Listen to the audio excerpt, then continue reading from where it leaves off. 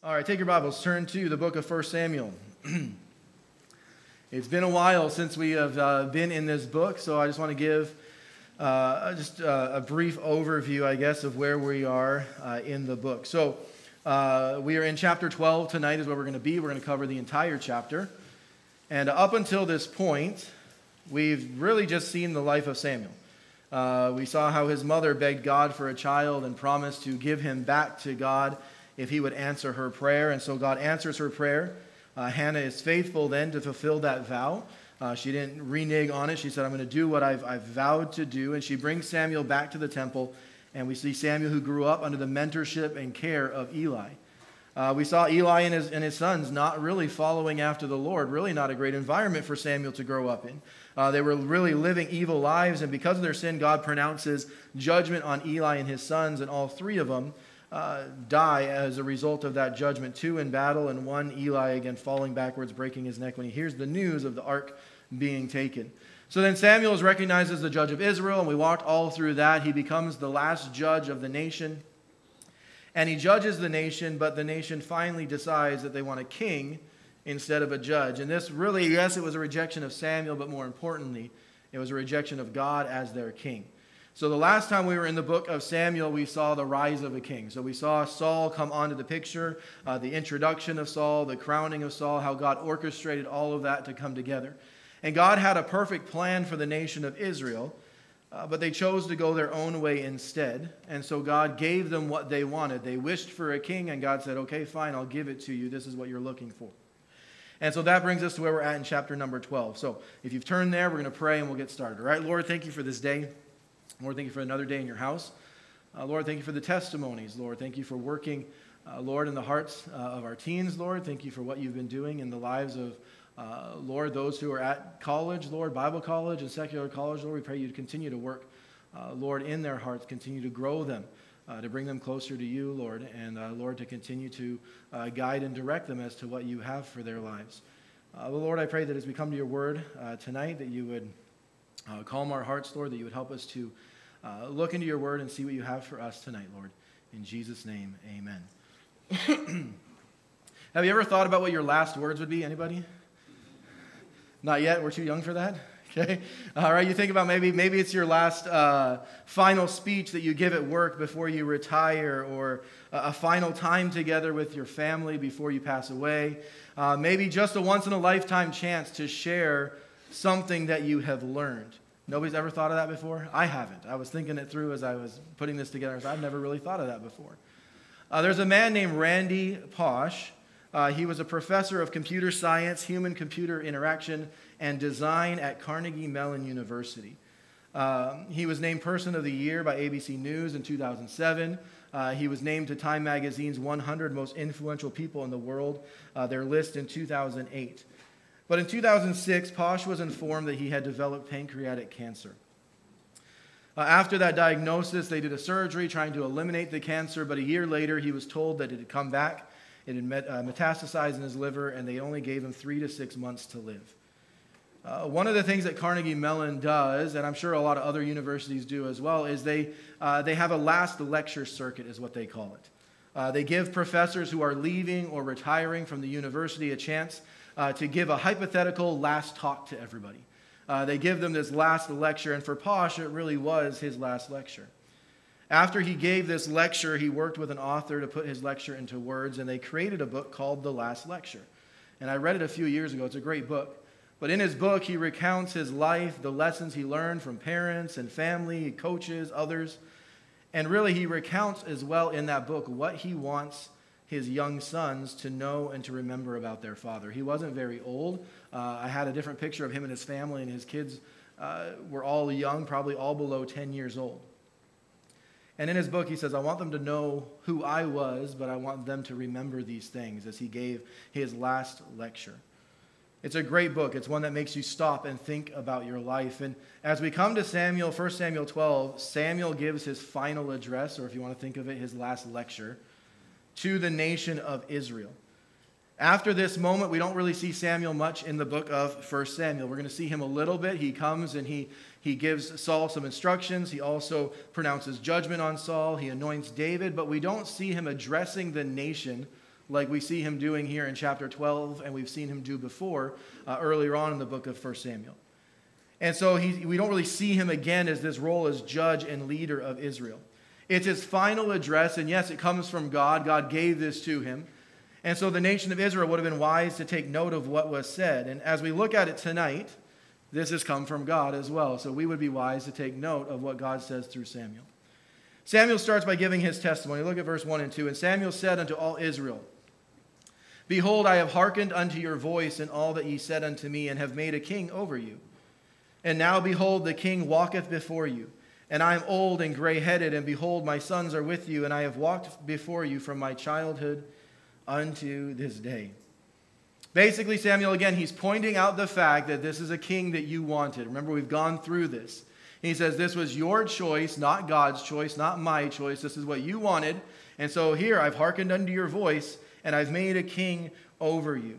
And this is the official transition now from judges to kings. God's used judges for hundreds of years uh, as his instrument in judging and leading the nation. And now it's transitioning to kings and to a monarchy. And he gives his final words. He passes the leadership, mantle of leadership to Saul. And he says again, And now behold, the king walketh before you. and I'm old and gray headed, and behold, my sons are with you, and I have walked before you from my childhood unto this day. Behold, here I am. Witness against me before the Lord and before his anointed. Whose ox have I taken, or whose ass have I taken, or whom have I defrauded? Whom have I oppressed, or of whose hand have I received any bribe to blind mine eyes therewith? And I will restore it you. And they said, Thou hast not defrauded us nor oppressed us, neither hast thou taken aught of any man's hand. And he said unto them, The Lord is witness against you, and his anointed is witness this day that ye have not found aught in my hand. And they answered, He is witness. Samuel takes the time to point to the testimony that he had before the people of Israel. He was the last judge, and he had judged faithfully.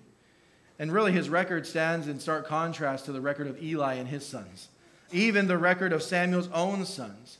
All these men had been corrupt. They had taken bribes. They had perverted judgment, is what we were told. And yet Samuel was able to stand up in his last address to the nation and say, Hey, have I defrauded you?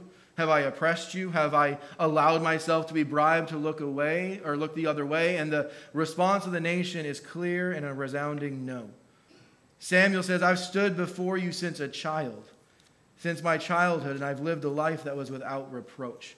And that should be an amazing thought to think about. We don't know how old Samuel was at this point, but his entire life, he had lived and judged in such a way that there was nothing that anyone could point to and claim that he had done wrong in his judgment or in his treatment of the people. Really, this should be the kind of testimony that each one of us here should be striving to have. And my question, I guess, is under this point is do you desire to have a life and testimony that are above reproach?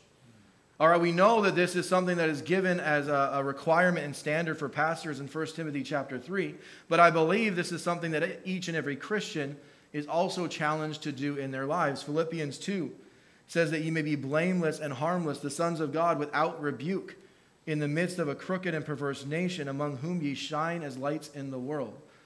That's given to us as Christians. We are to be standing blameless and harmless. We should be a light to the world. In 1 Peter 1.15, we know this verse, but as he is which called you is holy, so be ye holy in all manner of conversation.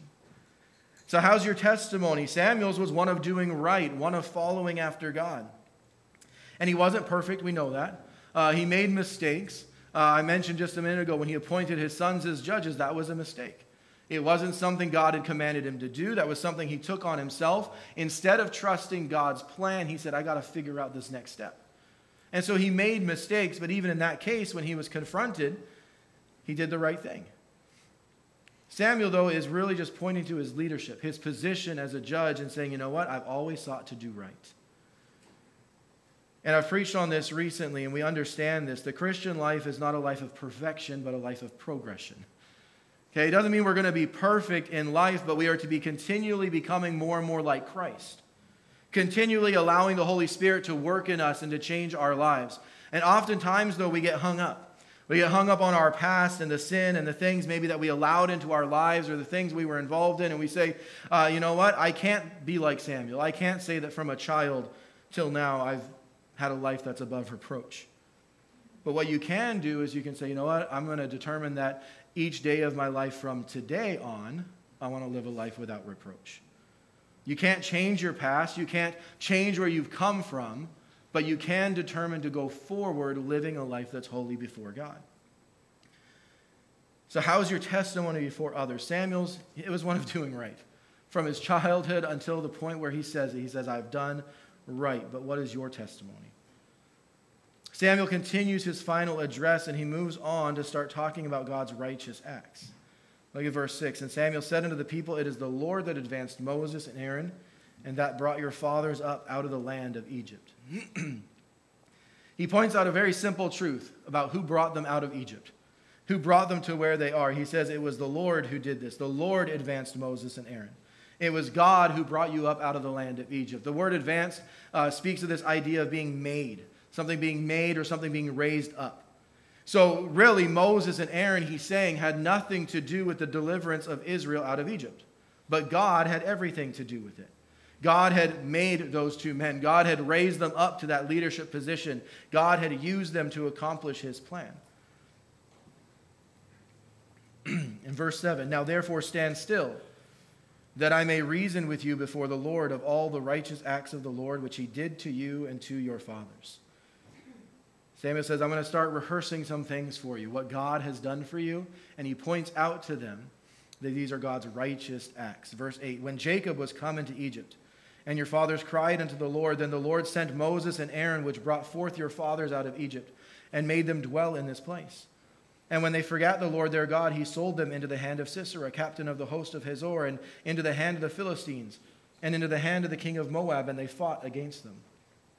And they cried unto the Lord and said, We have sinned, because we have forsaken the Lord, and have served Baalim and Ashtaroth. But now deliver us out of the hand of our enemies, and we will serve thee.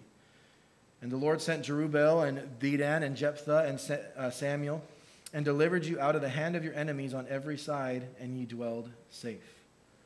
God had delivered Israel out of Egypt. He had opened the Red Sea. He had provided manna for them. He had parted the Jordan River. He had given them the victory over Jericho. He was responsible for everything that the nation of Israel was able to call their own. And J, uh, Samuel is reminding them of that fact. And as Christians, we need to be reminded of that fact too. Everything we have comes from God. The ability to work, the health that you have, the job, the career that you have, God has made you, God has raised you up. Don't forget that truth. And he's saying, you know what? I, yes, I have a good testimony, but don't forget that God did all this for you. God brought you here. God brought you through those trials. God brought you into the land.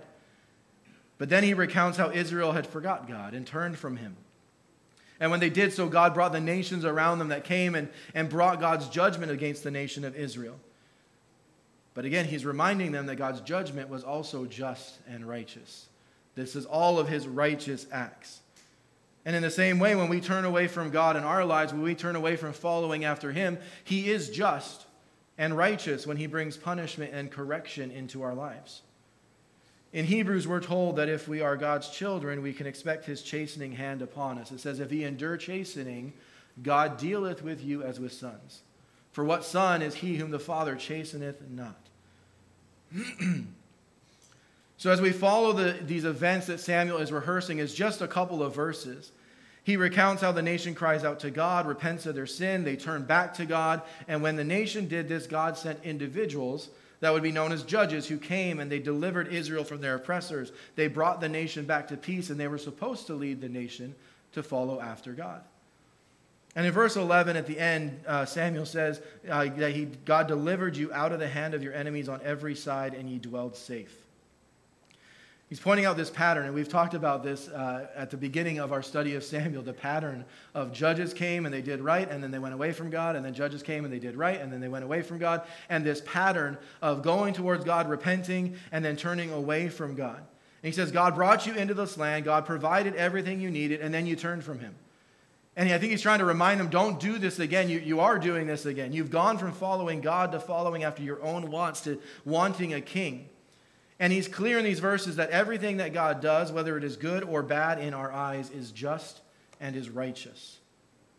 So, what does that mean? That means that everything that God does is morally perfect.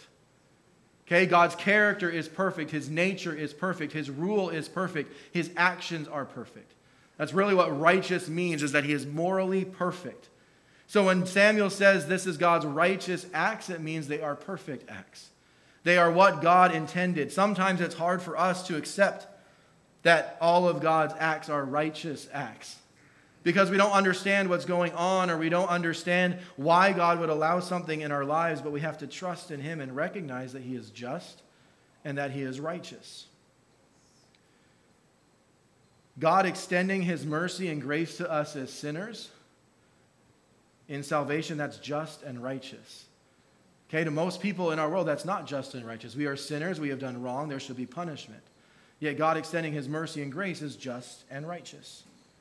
God may be giving mercy and, and saying, you know what, I'm withholding an earthly punishment or something or consequence in someone's life. We might say, I don't understand that, but that's just and righteous. God allowing a trial or a difficulty into your life is just and righteous. God chastening us for our sins is just and righteous. And Samuel is reminding the Israelites that all that God does is righteous, and we need to remember that as well. Every act of God is righteous. We need to keep that in mind as we go through life because it's easy to start complaining and say, "Hey God, why about why is this happening? Why did they get this? Why did they get that?" Instead of saying, "Okay, God is just and righteous. I don't understand it. I don't know what's going on, but I know that this is a righteous act of God." After recounting God's work, Samuel says, Okay, here's the choice you made, Israel. Look at verse 12.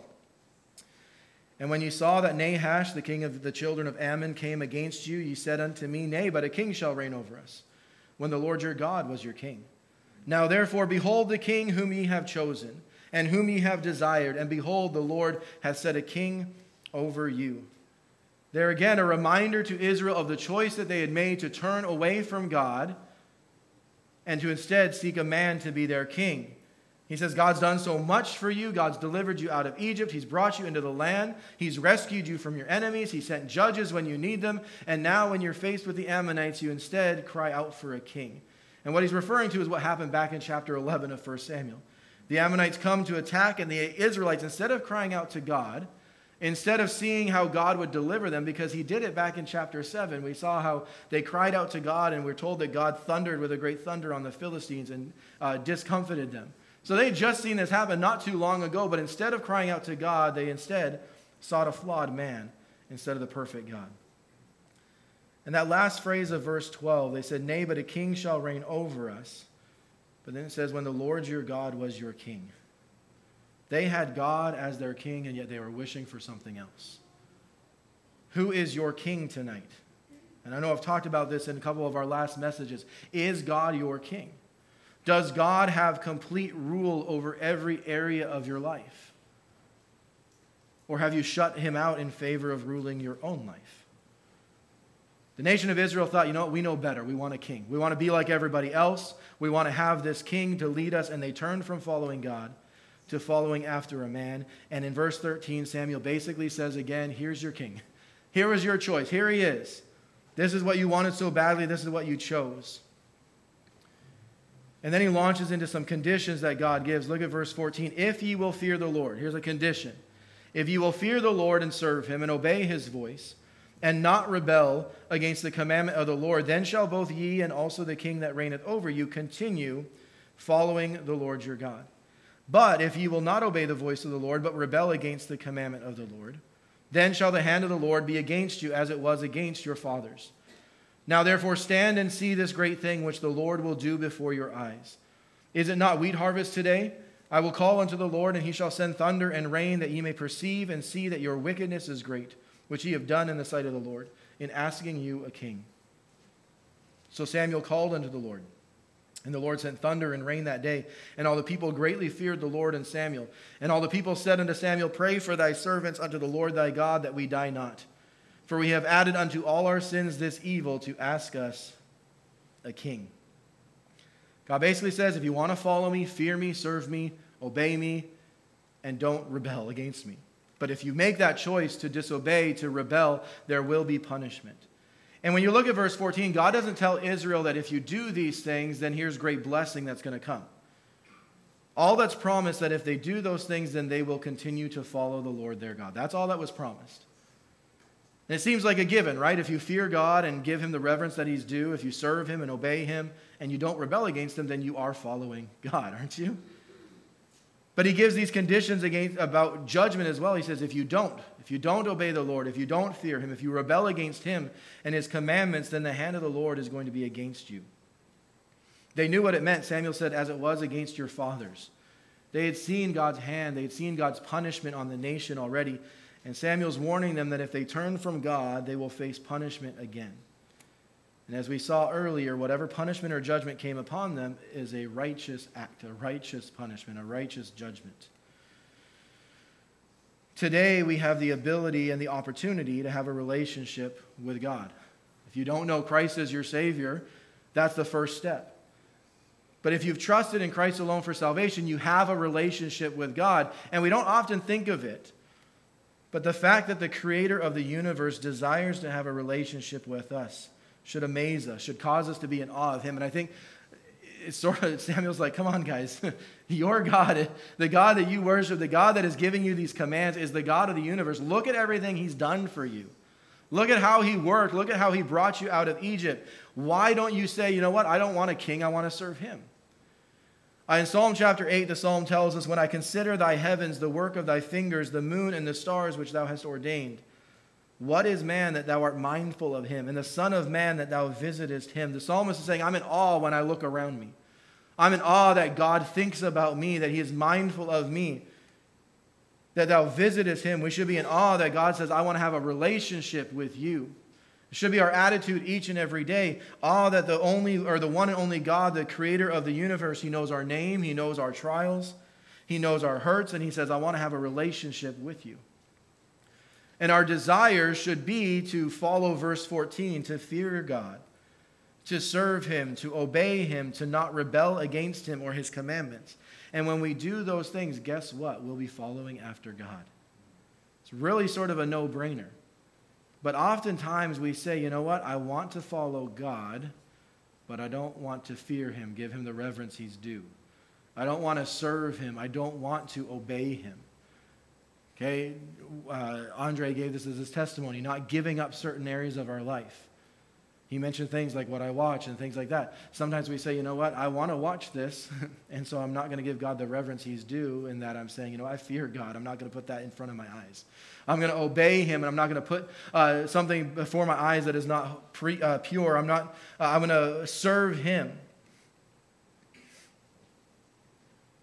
And so we say, you know what, I want to follow God, but I don't want to do those things. But if we do those things, we'll be following God.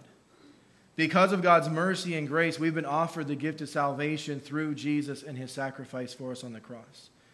But the Bible also tells us that God is also a God of justice and righteousness, which means he must punish sin. So, as a Christian, God's justice, his righteousness uh, is satisfied in Christ's death on the cross. So, if you've trusted in Christ, you're not going to face an eternity separated from God in hell. That payment has been made, but we still sin. He mentioned it as well. Andre mentioned it as well. We have the old and the new nature, right? They fight. Paul, uh, the Apostle Paul tells us that, that they war. And so, as a loving father, when we do sin, God chastens us. We just saw that verse in Hebrews 12, but let's read it again. If ye endure chastening, so if you see God's hand of chastening in your life, he dealeth with you as with sons. For what son is he whom the Father chasteneth not? So, again, saying that if you are a son, you will face chastening. As we continue what we just read, Samuel says, Here's a sign that's going to come from God that shows you that you guys have been wicked in seeking a king. The sign comes to pass, and the people seem to recognize their sin, and they cry, and they say, Samuel, cry out. They say, Pray for thy servants unto the Lord thy God, that we die not. For we have added unto all our sins this evil to ask us a king. They say, Pray to the Lord thy God. It was supposed to be their God, wasn't it? But we sort of see how far they had strayed from God being their king in this verse. They no longer refer to him as our God, but as Samuel's God.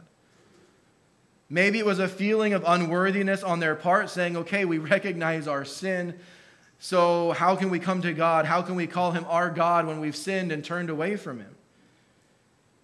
And to be honest, I'm struck at how often this happens in our lives as Christians as well. We stray from God, we sin, we turn from God, and then we come to a pastor and say, Pastor, pray for us.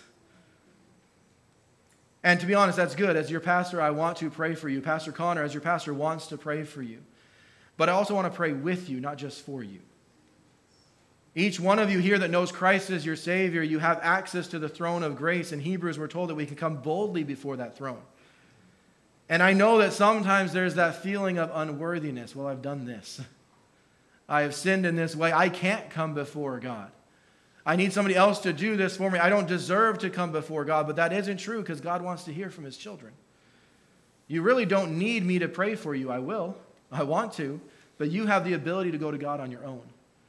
And sometimes it feels like people say, Pastor, please pray to your God for me. That's not how it should be. So God gave some conditions. He says, if you'll do this, you'll be following after me. If you do this, you'll face my punishment. And then Samuel's final words. They begin with hope in verse 20. Samuel said unto the people, Fear not. Ye have done all this wickedness, yet turn not aside from following the Lord, but serve the Lord with all your heart and turn ye not aside, for then should ye go after vain things, which cannot profit nor deliver, for they are vain. he starts by telling the people to fear not. He doesn't ignore their wickedness, he doesn't ignore their sin, but he does give them a challenge. He says, Fear not, and he gives them hope. They had sinned against God, but they've recognized their sin in verse 19. They've asked Samuel to cry out to God on their behalf. And we'll see as we continue in this study, the nation faces the consequences of their sin and their decisions. They face the consequences of their turning away from God. But in verse 20, he's, he's really challenging them to continue to serve the Lord. He says, Yes, you've done all this wickedness, yet turn not aside from following the Lord. Continue forward, continue to follow God. And it's a lesson we need to learn today as well. We often feel like once we've made a mistake, once we've failed, then we can't continue to follow after God. Maybe it's something big or something small, but we get this feeling that, you know what, I keep messing up. And so, you know what, there's no way I'm saved or there's no way that God wants to use me. And maybe I'm the only one. I've had that feeling before. The devil loves to bring up the past. He loves to bring up our sins and says, You're not worthy to serve God. You're not worthy uh, to follow God. And to be honest, none of us are worthy. There's only because of God's grace that we are able to live for Him and to serve Him. I love that verse where Paul says, It's only by the grace of God that I am what I am, because it's not, not of us. And so Samuel says, You know what? You've done wickedly, yes, but continue to follow God. If you're here tonight and you say, Well, I've messed up. Well, first, you need to confess your sin to God. You need to seek His forgiveness. Maybe you say, you know what, I need some counsel. You need to talk to myself or Pastor Conner. But then you need to continue forward following after God. Don't just abandon it. Don't just give up on it, but say, okay, now I'm going to continue forward. Don't let your past mistakes undermine the future that God has for you. He's waiting for you to come to Him. He's waiting to forgive you. He's waiting to restore you and to give you then what you need to continue forward for Him. And so Samuel's really challenging the people. He says, Put the past behind you. You've messed up. Fear not. Yes, you've messed up. Your wickedness was great. You've done this wickedness, but turn not aside from following the Lord, but serve the Lord with all your heart, and turn ye not aside. He says it twice. Don't turn aside from following after God, continue after Him. And in verse 21, he says, When you turn aside, you're turning to vain things. Really, the word vain is the, uh, has the sense of being worthless. So he says anything outside of following after God is worthless. It can't profit or deliver you. He's just gotten done saying everything from the coming out of Egypt and the deliverance out of Egypt to the land you're in now, it's all come from God. It's not come from your own power, your own strength, your own ability. And if we look at the nation of Israel, the only time they saw success, that they saw themselves prosper, was when they were following God. When they went their own way, it ended in pain and judgment from God. And so Samuel's saying, you know what? Anything else other than following God is vain. It's worthless. It does nothing for you. And can I challenge you tonight? The things of this world are vain, they're worthless. They have no meaning for eternity, they have no true and lasting power. But I know many of us that tonight could say we have turned from following God at some point in our lives to following after things that are worthless. Maybe you're in that position now. It's a career or money or a relationship or a lifestyle you want to live, and you've turned away from that or away from following God to something that is worthless. It can't profit or deliver you. The only one who can do that for you is Christ. Think about it your career can be taken from you pretty easily, your money can disappear very quickly. Your relationships can fail. The only one who will not fail you, who will not leave you, is Christ. He is always with you. And if you look at the next thing that Samuel tells the nation in verse 22, he says, For the Lord will not forsake his people for his great name's sake, because it has pleased the Lord to make you his people. He says, All those things you followed after, whether it was a false God or whatever it was you were going after, those are vain, they're worthless, they don't profit you, they can't deliver you, but God is still there. God will not forsake you, God will not leave you. He says, You are God's people, God has chosen you, God's name is attached to you. And because of who God is, his great name's sake, he's not going to leave you. As Christians, we have the same promise in Hebrews 13 let your conversation be without covetousness, and be content with such things as ye have, for he has said, I will never leave thee nor forsake thee. There's a whole message in that verse. Don't live a life of covetousness, but be content with what you have because God is with you. Doesn't mean we don't strive to better ourselves, but it does mean that through it all we are content because we're trusting in God. We're trusting in His plan. And if you're saved tonight, you are a child of God. You are called by his name. He will never leave you or forsake you. Verse 23 says, Moreover, as for me, God forbid that I should sin against the Lord in ceasing to pray for you. But I will teach you the good and the right way. Samuel says, You know what? You've asked me to pray for you. I'll do that. God's placed me in this position of leadership as a judge, and part of my responsibility is to pray for the people to bring them before God. And he's really saying just because you have chosen a king over God does not lessen my responsibility that I have to you as still a judge. God didn't really, uh, if you're looking here, God didn't remove him from being judge. God brought a king in, but God didn't remove Samuel. And we'll see that as we keep going. People go to Samuel, and Samuel pronounces judgment from God. And so Samuel says, Yes, I will continue to pray for you. I will continue to teach you what is right and wrong. Uh, in the same way, if you choose to reject God and you choose to reject the pastor God's given to you, guess what? It doesn't diminish the responsibility that I and Pastor Conner have to preach God's word and to pray for you, to challenge you with what God's word has to say. And Samuel says, I'm going to continue doing that. I will pray for you. I will preach and teach the, uh, the people the good and the right way. And like I said, he disappears a little bit after this chapter. We don't see him addressing the nation again, but uh, we do see him coming through at, at important moments. And I do believe that we would be safe to assume that Samuel continued to teach the people and to try to get the people to follow after God and to challenge them and to challenge the king. We'll see him do that in challenging the king to obey God and follow him.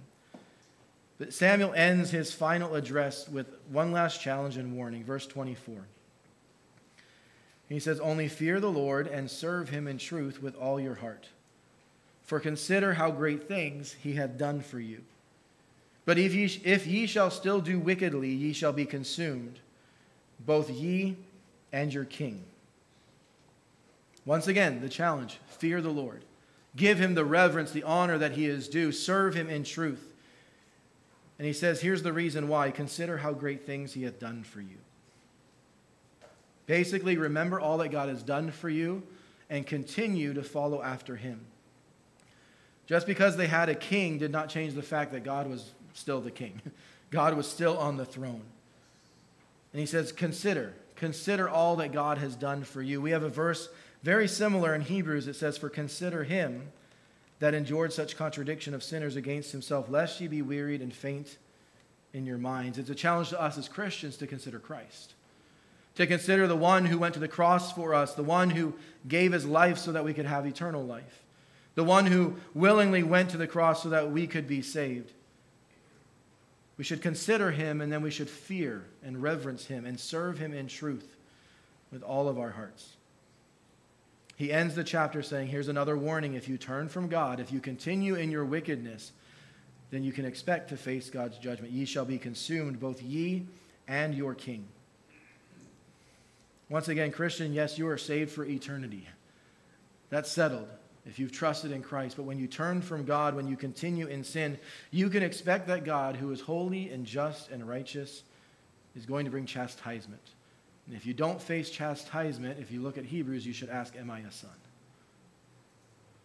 God is reaching out to you, trying to get your attention, wanting you to come back to Him, to seek forgiveness and restoration, but there will come a point where his justice demands a punishment. Don't let your sin get to that point. Turn back to God. Confess your sins. Forsake it and come back to the place of following God in your life. As we end tonight, I want to come back to the title, really, of my message. This whole chapter was Samuel giving his final address to the nation of Israel. He had one last chance to address the entire nation, to challenge them about the direction that they were going. He had uh, one last, ch- last chance to point them in the right direction, to encourage them to follow God with their lives. And everything that he challenged the nation of Israel with is a challenge to us as well. So, as we end, I'm going to recap. First of all, what is your testimony to others? The word testimony, the basic definition, is a statement for the purpose of establishing and recording truth. Testimonies or witnesses that do otherwise are false. So, your testimony is your life, a statement that is there for the purpose of establishing and recording truth. So, is your testimony, the statement of your life, one of an authentic faith that we heard about this morning? Is it a testimony of a faith that works? Or does the way that you live your life tell those around you that your faith is not authentic, it's not real? Maybe your testimony is one of failure. You say, you know what? I've messed up a bunch of times. That's what people know me for, is that I'm going to mess up. Remember, don't let your past mistakes undermine the future God has for you. He wants to forgive and restore and then take you forward for Him. He wants to work in your life. He wants you to, or to grow you to become more like Him. He wants to change you, but you have to be willing to let Him. Don't let your past sin or your past failures keep you from following after God. Give your past to God, seek His forgiveness and restoration, and then press forward for Him. So, what's your testimony? But second, how is your attitude toward God? Okay, every act of God is righteous, morally perfect. Maybe you've lost sight of that fact. You uh, are questioning God because of what's going on in your life right now. Maybe you're facing a trial or a difficulty. Maybe you're feeling God's chastening hand in your life. Remember, everything that God does, good or bad in our eyes, is righteous and just. Maybe you just need to ask God to say, Lord, help me to accept your working. Help me to trust you through it all. Maybe you just need to consider Christ more tonight. And to say, you know what? I want to just take time to consider what Christ has done for me. I know I don't do that enough in my life to say, you know what? Let me think about what God has done in my life. But when we dwell on what Christ has done for us in our lives, it will then motivate us to go forward in life and to follow after him. And our attitude towards God and to his commandments, it changes when we consider all that he's done for us. When we look at what he has done, that changes our attitude towards him, and we can say, you know what? That's God's righteous act. That's God working in my life. Lastly, who's your king tonight? Does God have complete rule over every area of your life? Or have you said, you know what? I'm going to shut God out in favor of ruling my own life? The best life is a life that's completely submitted to God and His will. When you allow God to reign over every area of your life, then your life is going to be a life that is fulfilling. Will you make the most money that you ever could? Probably not. But you will be happy and fulfilled knowing that you lived your life with God as your king. And that applies to every stage of life. Okay, we love to talk about Brother Marty and Nancy. They gave God complete control over every area of their life. And guess what? They are fulfilled and they are happy doing what God wants them to do. And we'll sit here and go, Amen, amen, but are we willing to do that? Are you willing to say, you know what? What does God want for me? And God is moving, or God is, is convicting me, or God is uh, moving me in a certain direction. Are you willing to say, you know what? I'm going to completely submit my life to God and His will. Will I have everything I want in life? Maybe not. But I will have the best life I possibly could have. If God is your king, then as Samuel challenged the nation of Israel, you will fear God and reverence him. You will serve him. You will obey him. You will not rebel against him and his commandments. That's something we all like to do, right? Say, God, I don't understand that one. I don't want to do that. I, I, don't, I don't really feel like maybe that's not what God meant, so I don't want to do that. Don't just say that you want to follow God, let your actions show it. The Israelites were challenged by God through Samuel to follow after God, but the proof, we'll see, right, it was in their actions, whether they did it or not. So Samuel gives a final address to the nation of Israel, and he made the most of it. So for you tonight, if you were given, like Randy Pausch was, one final chance to address your family or your coworkers or your fellow brothers and sisters in Christ, what would you say? Would you have anything to say? Would you be able to look back on your life and to say, you know, my testimony was one of following God? Would you be able to say that even in the hard times, I trusted in God's righteous acts? Would you be able to say that, you know what? God was my king and I followed him completely? I believe that as Samuel gave this final address, he was also able to say that he had lived his life according to what he was challenging the nation of Israel to do. He said, Look at my life first. Can you see anything in there that I, I, have strayed from this? And then he goes on and says, Do this, do this, do this. But he was able to say, You know what? I've done this. The Apostle Paul says in 1 Corinthians 11, Be followers of me, even as I also am of Christ. This verse is a challenge to me, and I love this verse because it challenges me. Because the question then is if I was to give a last address, would I just be saying, you know what, you should do this, you should do, you, you should do this? Or could I say, you know what, do what I did? I did my best to live for Christ my whole life. I strived to follow after him, and when I failed, I came back to him, and then I kept going forward. What would be your last address? Let's have every head bowed and every eye closed.